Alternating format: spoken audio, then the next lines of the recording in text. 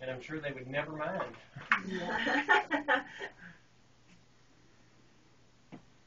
Rachel, I tell you what, you're getting better and so better at turning around in small spaces like this Yeah, too. why should I have to learn to walk? Then I can do Don't want to move my mommy feet. I think Jenny,